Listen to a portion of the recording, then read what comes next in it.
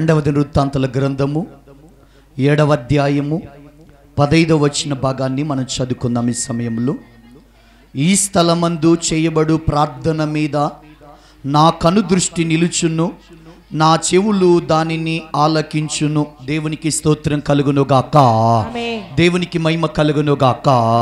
చిన్న ప్రార్థన చేసుకొని వాక్యం నిమిత్తము పరిశుద్ధాత్మ దేవుని సాయం కొరకు మనం చిన్న ప్రార్థన చేసుకొని ముందుకు వెళ్దాం. పరిశుద్ధుడ మహోన్నతుడ సర్వశక్తి కలిగిన దేవ మహిమ కలిగిన దేవ కృపాసత్య సంపూర్ణుడ. నీ ఘనమైన శ్రేష్టమైన నామానికి స్థుతులు స్తోత్రములు వందనములునైనా అయ్యా ఈ వాక్య భాగములు ఉంటుండగా నీ ఆత్మ సహాయము ఆత్మ జ్ఞానం మాకు దయచేయమని ప్రార్థిస్తున్నాం. ఎంతమంది బిడ్డలు నీ వర్తమానం వింటున్నారో వారందరి జీవితాల్లో అద్భుత కార్యాలు మారు మనసు కార్యాలు జరిగించమని ప్రార్థిస్తున్నామయ్యా అయ్యా నీకు దూరం అయిపోయిన జీవితాలు నీకు దగ్గర ఉట్టకు మీరు సాయం చేయమని ప్రార్థిస్తున్నామయ్యా మీకు వందనాలు స్తోత్రాలు.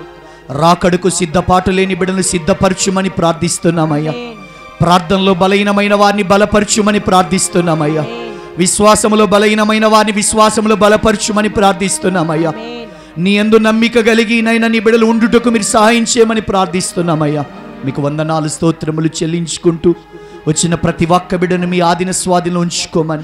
నిలబడుచు నీ దాసు నీ ఆదిన స్వాధీనంలో ఉంచుకోమని. నీ ఆత్మ జ్ఞానముతో నింపబడి నీ ఆత్మ బలముతో నింపబడి నీ బిడలకు నీవే బోధించుమని సహాయం చేయమని. యేసు నామములు ప్రార్థించి వెడుకొచ్చున్నాము పరమ తండ్రి. అమేన్ అమేన్ ఈ స్థలమందు చేయబడు ప్రార్థన మీద నా కనుదృష్టి నిలుచును. నా చెవులు దానిని ఆలకించును. దేవునికి స్తోత్రం కలుగును గాక. అందరు బిగ్గరగా చెప్దాం. దేవునికి మహిమ కలుగును గాక. దేవునికి స్తోత్రం కలుగును గాక. క్రీస్తునందు చెరవచ్చిన వాక్యం వింటున్న ప్రియమైన దేవుని పిల్లలందరికీ ప్రభు నాను మీకు వందనాలు చెల్లించుకుంటున్నాను. వాక్య ధ్యానంలోనికి వెళ్దాం. ఈరోజు దేవుడు మాట్లాడుతున్న అంశం ఏమిటంటే ఎటువంటి ప్రార్థనకు కార్యాలు జరుగుతాయి? బాగా వినాలి ఈరోజు వాక్యాన్ని. విశ్వాసులైన వారు దేవుని బిడ్డలైన వారు జాగ్రత్తగా వినండి. ఎటువంటి ప్రార్థనకు దేవుని యొద్ద నుండి మన కార్యాలు చూస్తాం ప్రేమేంద్యన్ బెడ్లార్ ఈరోజు మన అంశ ధ్యానమే ఇది. ప్రార్థన చాలా రకాలుగా ఉంది. ప్రార్థన చాలా రకాలుగా ఉంది ప్రేమేంద్యన్ బెడ్లార్ అయితే ఈరోజు మనం ఎటువంటి ప్రార్థన చేస్తే మనం ఆశించిన కార్యాలు మనందరి జీవితాల్లో జరుగుతాయో కొన్ని మాటల్లో పరిశుద్ధాత్మ దేవుని సహాయం ద్వారా నేను దేవుని ఆత్మ సాయంతో ముందుకు తీసుకెళ్తాను వాక్యాన్ని ఇండియన్ బెడ్లార్ ఇక్కడ అంటున్నాడు దేవుడు ఇక్కడ ఈ స్థలమందు చేయబడు ప్రార్థన మీద నా కనుదృష్టి నిలుచున్న నా చెవులు దానిని ఆలకించునంటున్నాడు మనకొచ్చిన శోధనైనా సమస్య అయినా శ్రమైనా వినండి జాగ్రత్తగా. శోధన కావచ్చు సమస్య కావచ్చు శ్రమలు కావచ్చు.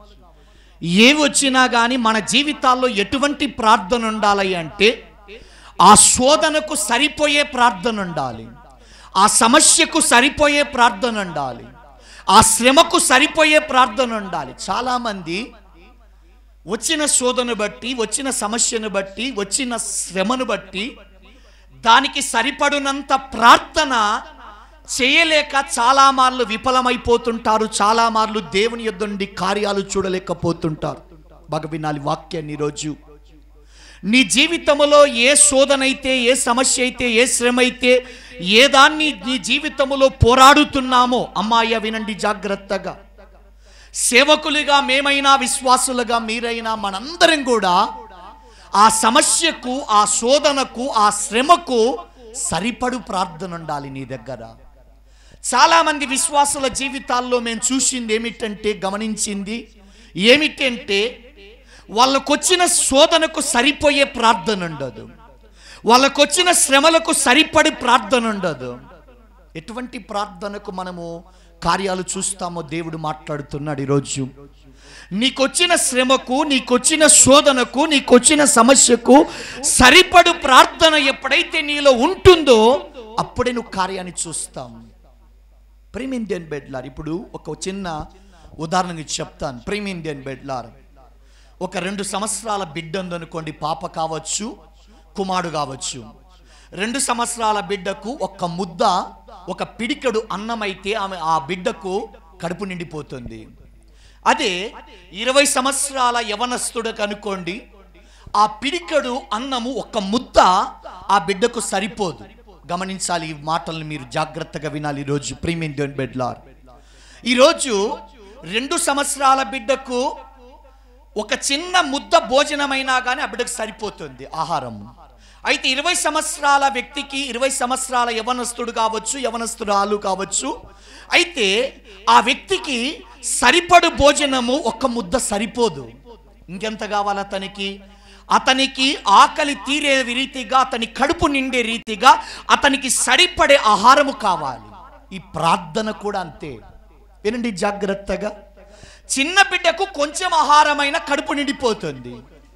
పెద్దలకు ప్రీమియం దేని బెడ్లారా వారికి సరిపడే భోజనము కావాలి. ఒక ముద్ద సరిపోదు ప్రీమియం దేని బెడ్లారా అలాగే మనకొచ్చిన శోధను మనకొచ్చిన శ్రమలు మనకొచ్చిన ప్రతి విధమైన సమస్యలకు మనం ఈరోజు ఏమి నేర్చుకోవాలయ్యా ప్రార్థనా పరులుగా అంటే విశ్వాసులుగా క్రైస్తవుడిగా దేవుని బిడ్డలుగా దానికి సరిపడే ప్రార్థన మనం చేయగలిగినప్పుడే కార్యాన్ని చూడగలుగుతాం.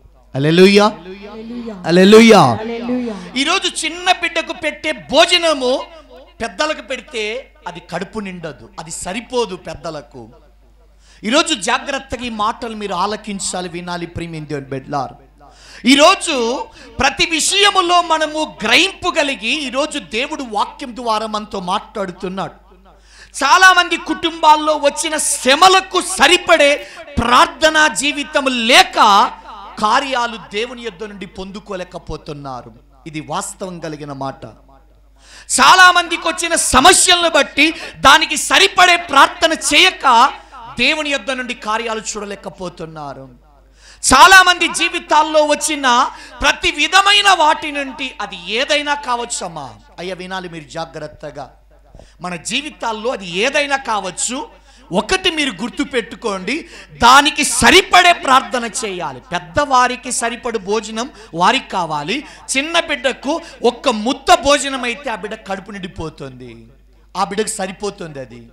అలాగే ప్రతి విషయములో కూడా మనము గమనించవలసిన మాట ఏమిటంటే సరిపడు ప్రార్థనను చేయాలి. ఈరోజు దేవుడు వాక్యం ద్వారా మనందరితో సెలవిస్తున్నాడు. అందుకే మనం ఉదాహరణగా పరిశుద్ధ గ్రంథము నుంచి మనం తీసుకుందాం వాక్య భాగాన్ని. లూకా శుభవార్త తీస్తే ఇరవై రెండవ అధ్యాయము నలభై నాలుగో వచ్చిన భాగాన్ని చదువుకుందాం. లూకా శుభవార్త ఇరవై రెండవ అధ్యాయము నలభై నాలుగో వచ్చిన భాగాన్ని మనం ఆయన వేదన పడి మరింత ఆతురముగా మరింత ఆతురముగా ప్రార్థన చేయగా ప్రార్థన చేయగా ఆయన చెమట నేల నేల పడుచున్న గొప్ప రక్త బిందువలే ఆయను. ఇది యేసు ప్రభు చేసే ప్రార్థన. అల్లెలుయ్యా గట్టి చెప్పాలి. అల్లెలుయ్యా యేసు ప్రభు వారు ఎటువంటి ప్రార్థన చేసినాడంటే చెమట బొట్టు రక్తపు బొట్టుగా మారింది. అల్లెలుయ్యా యేసు ప్రభు సిలువలో శ్రమ పొందే ముందు బాగా వినాలమ్మా జాగ్రత్తగా ఎటువంటి ప్రార్థన చేయాలో చాలా మందికి తెలియదు. ఆ సమస్యకు సరిపడే ప్రార్థన నీ దగ్గర లేకనే ఇంతకాలం నీ జీవితములో ఆ సమస్య సమస్యగానే ఉంది. నీకొచ్చిన శ్రమకు తగిన సరిపడే ప్రార్థన నీకు లేదు. నీకొచ్చిన శోధన బట్టి దానికి సరిపడే ప్రార్థన నీకు లేదు. చాలామంది జీవితాల్లో ఇలాంటి వ్యక్తిగత జీవితాల్లో చాలామంది ఇలాగే ఉన్నారు. ఇక్కడ యేసు ప్రభు వారు ఆ రాత్రికాల సమయమందు గెస్సేమాను తోటకు వెళ్ళినాడు. శిష్యులను తీసుకెళ్ళినాడు. అక్కడ రాత్రంతా కూడా మూడు మార్లు ప్రార్థన చేసినట్టుగా అక్కడ రాయబడింది. మత్తాయి శుభవార్తలకు వెళ్తే అక్కడ ఇంకొంచెం క్లారిటీగా మనకు అక్కడ వాక్యం అర్థమవుతుంది. మత్తాయి శుభవార్త ఇరవై ఆరవ అధ్యాయము నలభై నాలుగో వచ్చిన భాగాన్ని చూద్దాం. ప్రేమేంటి? మత్తాయి ఇరవై ఆరు నలభై నాలుగు ఆయన వచ్చిన వారిని మరలా విడిచి ఆయన వారిని మరలా విడిచి వెళ్ళి ఆ వెళ్ళి ఆ మాటలే చెప్పుచు. ఆ మాటలే చెప్పుచు. మూడవ మారు ప్రార్థన చేసెను. మూడు సార్లు ప్రార్థన చేసినాడు. బాగా వినాలి. వినండి జాగ్రత్తగా. యేసు ప్రభువు ఆయన పరిచర్య అంతటిలో కూడా ముప్పది సంవత్సరములు స్టార్ట్ చేసిన తర్వాత ఎప్పుడు ఇంత విధంగా బలంగా ఇన్ని ఇంత రీతిగా ప్రార్థన చేసినట్టుగా ఇక్కడ రాయబడలే. అయితే ముందున్న దేవుని చిత్తము కొరకు దేవుని ప్రణాళిక కొరకు దేవుని సంకల్పము కొరకు సిలువలో పడే వేదన బట్టి దానికి తగిన ప్రార్థన చేసినాడు. సరిపడే ప్రార్థన చేసినాడు. రాత్రంతా కూడా మూడు మార్లు చెమట బొట్టు రక్తపు బిందువులుగా మారే రీతిగా ప్రార్థన చేసినాడు. మీరు అర్థం చేసుకోవాలి వాక్యాన్ని ఇది మీ కుటుంబములో ఏ విధంగా నీ జీవితములో ఈరోజు ఈ వాక్యం వింటున్నావో? దానికి సరిపడు ప్రార్థన నీ జీవితములో ఉందో లేదో శోధనకు సమస్యకు కష్టానికి నీ జీవితంలో ఉన్న ప్రతి అవంతరాలను బట్టి యేసు ప్రభు వారు కూడా రాత్రంతా కూడా మూడు మార్లు వేదనతో ఆతురతో అనేక రీతిగా ఒక గొప్ప ప్రార్థన చేసినాడు. ఎందుకు చేసినాడంటే ఆ ముందున్న కార్యాన్ని బట్టి సిలువలో ఆయన పొందే శ్రమలు అన్ని విధాలుగా మన కొరకు రక్షణార్థమై దేవుని చిత్తము నెరవేర్చబడానికి మూడు మార్లు రాత్రంతా కూడా ప్రార్థన చేసినాడు.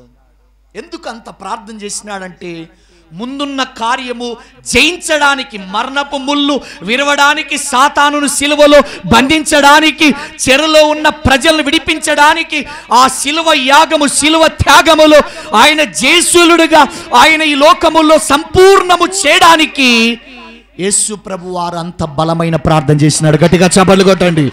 దేవునికి మహిమ కలుగును గాక యేసు ప్రభువే దానికి సరిపడు ప్రార్థన చేస్తే విశ్వాసులుగా సేవకులుగా మనమెంత ప్రార్థన చేయాలి? వినండి జాగ్రత్తగా. కార్యమైతే గొప్పగా ఆశిస్తాం మనం. అద్భుతమైతే గొప్పగా ఆశిస్తాం. అయితే నీ వ్యక్తిగత కుటుంబ ప్రార్థనలో ప్రార్థనలు చాలా రకాలు ఉన్నాయి ఒకటి వ్యక్తిగత ప్రార్థన రెండు కుటుంబ ప్రార్థన మూడు సంఘ ప్రార్థన. ఎప్పుడైతే మూడు ప్రార్థనలో ఎప్పుడు అటెండ్ అవుతూ ఉంటావో అప్పుడే గొప్ప కార్యం చూస్తాం మనం. చాలామంది నాకు సంఘ ప్రార్థన అక్కర్లేదు అంటుంటారు అక్కడే నువ్వు పొరపడుతున్నావు. నీ వ్యక్తిగత ప్రార్థన నీ ఇంటి దగ్గర ఎంత ఉన్నా నీ కుటుంబ ప్రార్థన ఇంటి దగ్గర ఎంత ఉన్నా ఖచ్చితంగా సంఘములో కూడుకొని ప్రార్థించే అనుభవం నీకు ఖచ్చితంగా ఉండాలి. అలవాటు. ప్రీమియం దేని బెడ్లార్ నాకు తెలియని వాక్యము లేదు. నాకు తెలియని ప్రార్థన లేదు. నాకు తెలియని ఈరోజు సందేశాలు లేవు గనక ఈరోజు నాకు నేనే గొప్పవాడినని ఎవ్వరం కూడా మనం అనుకోకూడదు. అలెలుయా గట్టి చెప్పండి అలెలుయా దేవునికి స్తోత్రం కలుగును గాక. యేసు ప్రభువే ముందున్న దాన్ని బట్టి బలమైన ప్రార్థన దానికి సరిపడు ప్రార్థన మెలుకువగలిగి చెమట బొట్టు రక్తపు బిందుగా మారు రీతిగా ప్రార్థన చేసినాడు. ఎప్పుడు చేసిన ప్రార్థనలో కూడా చెమట బొట్టు రక్త బిందువుగా మారలే. అలెలుయా ఎందుకు ఇంత బలమైన ప్రార్థన చేసినాడయ్య అంటే? అమ్మా విను జాగ్రత్తగా. అయ్యా వినండి. అక్కడ ఒక కార్యం ముందుండగా ఆ శోధనను ఆ శ్రమను ఆ సమస్యను ఆ యొక్క ఉంటున్న ప్రతి వాటిని జయించడానికి దానికి సరిపడే ప్రార్థన ముందుగానే చేసినాడు యేసు ప్రభువారు. మనం కూడా ఈరోజు అమ్మా ఎటువంటి ప్రార్థనకు నువ్వు కార్యం చూస్తావంటే ఏదైతే నీ జీవితంలో వెంటాడుతున్నాయో ఏదైతే నీ జీవితంలో కృంగదీస్తున్నాయో ఏదైతే నీ జీవితంలో నలిగిపోతున్నావో దానికి సరిపడే ప్రార్థన నేర్చుకోండి మీరు. ఈరోజు ఇదే మీకు ఇచ్చుచున్న దేవుడిచ్చుచున్న వర్తమానం. ఈరోజు నీ కుటుంబంలో సరిపడే ప్రార్థన ఉందా? నీ జీవితంలో సరిపడే ప్రార్థన ఉందా? ఈరోజు సంఘములో చేర్చబడిన తర్వాత నీ జీవితంలో ఉన్న భారం కలిగిన సమస్యలను బట్టి భారం కలిగిన బాధలను బట్టి వేదన బట్టి సరిపడు ప్రార్థన నీకుందా? సరిపడు ప్రార్థన చేయి తల్లి. ఈరోజు ఒక పెద్దవారికి భోజనం చిన్నవాడికి ఎలాగునో అలాగే సరిపడు రీతిగా నీ ప్రార్థన ఉండాలి. అందుకే దేవుడు వాక్యం ద్వారా మనందరికీ ఈరోజు సెలవిస్తున్నాడు. మనం చూసినట్లయితే ప్రీమియం డేన్ బెట్లార్ అపోస్తుల కార్యము పన్నెండవ అధ్యాయము పన్నెండవ వచనాన్ని మనం చదువుకుందాం. అపోస్తుల కార్యము పన్నెండవ అధ్యాయము పన్నెండవ వచ్చిన భాగాన్ని మనం చూస్తే అక్కడ రాయబడిన మాటను మనం చదువుకుందాం. ఆలోచించుకుని అతడు మార్కు అను మారు పేరు గల. యోహాను తల్లి అయిన మరి ఇంటికి యోహాను తల్లి అయిన మరి ఇంటికి వచ్చెను. వచ్చెను. అక్కడ అనేకులు కూడి అక్కడ అనేకులు కూడి ప్రార్థన చేయుచుండిరి. ప్రార్థన చేయుచుండిరి. దేవునికి మహిమ కలుగును గాక. దేవునికి స్తోత్రము కలుగును గాక అక్కడ అనేకులు కూడి ప్రార్థన చేసేవారు. వినండి జాగ్రత్తగా. సంఘములో కుటుంబముగా కూడుకున్నప్పుడు ప్రీమియం జైన్ బెట్లార మీ కుటుంబాల్లో మీరందరూ కుటుంబ సమేతంగా కూడుకున్నప్పుడు సంఘములో కుటుంబాలన్నీ కూడుకున్నప్పుడు ఆ ప్రార్థన ఎలాగుండాలంటే ఆ దేవుని యొక్క నుండి ఒక కార్యము ఒక అద్భుతము జరుగు రీతిగా సరిపడే ప్రార్థన ఉండాలి. వినండి జాగ్రత్తగా. అనేకులు కూడుకున్నప్పుడు మన ప్రార్థనలో ఏముండాలి అంటే ఒక మంట మండే రీతిగా దేవుని శక్తి దిగే రీతిగా దేవుని మహిమ నీ గుడారంపై సంఘముపై పరలోకము నుండి ఆయన తేజస్సు దిగులాగున మన ప్రార్థన ఉండాలి. గట్టిగా చపళ్ళు కొట్టండి. దేవునికి మహిమ కలుగునుగాక దేవుని యొద్ద నుండి జవాబు వచ్చే రీతిగా నీ ప్రార్థన ఉండాలి. చాలామంది ఉంటున్న శోధన గొప్పగా ఉంటుంది ప్రార్థన తక్కువ ఉంటుంది. ఉంటున్న శ్రమలు ఎక్కువ ఉంటాయి ప్రార్థన తక్కువ ఉంటుంది. ఉంటున్న శ్రమలు ఉంటున్న శోధన ఉంటున్న సమస్యలు బోలెడన్ని కుటుంబాల్లో ఉంటాయి కానీ ప్రార్థన చాలా తక్కువ ఉంటుంది. వినండి జాగ్రత్తగా. ఏలియా వర్షము కొరకు మోకాళ్ళని ఒకటో ప్రార్థన చేసినాడు. సరిపోలే. రెండో ప్రార్థన చేసినాడు సరిపోలే. మూడో ప్రార్థన చేసినాడు సరిపోలే. నాలుగో ప్రార్థన చేసినాడు సరిపోలే. ఐదో ప్రార్థన చేసినాడు సరిపోలే. ఆరో ప్రార్థన చేసినాడు సరిపోలే. ఏడో ప్రార్థన చేసినాడు అప్పుడు సరిపోయింది. అస్తమంత మేఘముతో గొప్ప వర్షం పడింది. హల్లెలూయా. గట్టిగా చెప్పండి హల్లెలూయా. దేవునికి మహిమ కలుగును గాక